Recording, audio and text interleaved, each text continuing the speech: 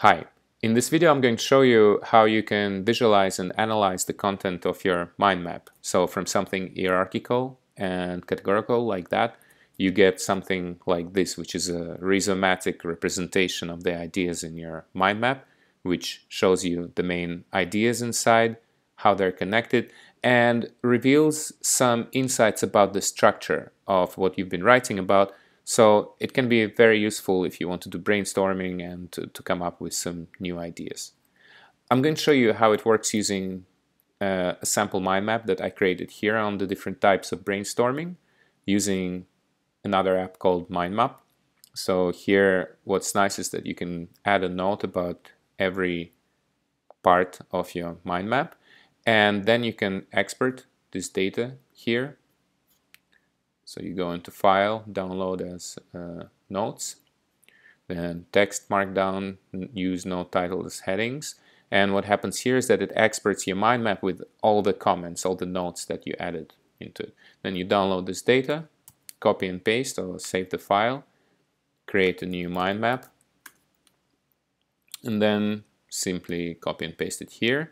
And you basically have two ways. One way is to keep it as it is, Another way is to replace uh, all these hashtags with uh, the at signs, which means that you will basically connect every one of those ideas. So for example, generating ideas is going to be a node in the graph and process design is another node and it's connected to all the words that appear in the description of that node. And you don't have to do it manually. Of course, you can use the search and replace function in any text editor. So there are two ways of doing it.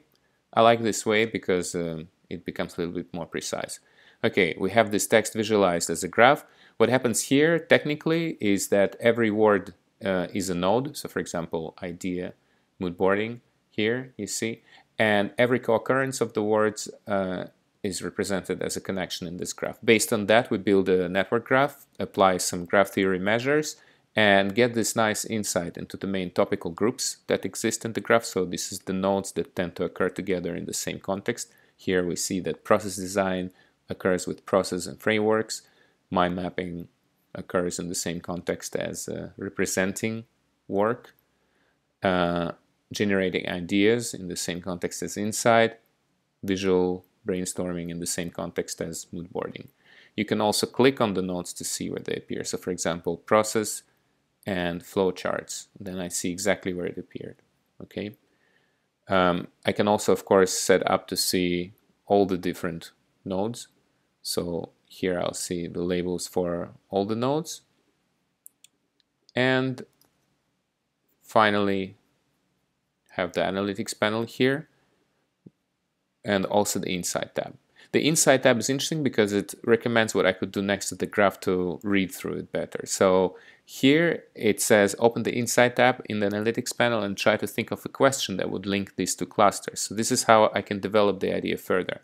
If I connect mood boarding, visual brainstorming, and uh, generating insight. Is there any connection between mood boarding and visual way of doing brainstorming and generating ideas? For example, I could think of the different tools that could be created uh, or used to uh, generate ideas using visual brainstorming. For instance, I can say, what if I use AI to interpret the images and then use those interpretations to generate a text or an article on the subject I'm interested in. Add this into the graph. I can also add uh, some kind of like a tag marker to it. I'll say that uh, this will relate to generating ideas and brainstorming and mood boarding. Okay, I add this into the graph and you will see these ideas appear as a separate cluster and I can start developing my discourse in this rhizomatic horizontal way using this tool. And then, of course, some of the ideas I can integrate them back into this original mind map and see how I could somehow make them structured in that way if that's what I want to do. So this is how it works. Try it out on infranodus.com and let us know how it works and what features you would like to have implemented. Thank you.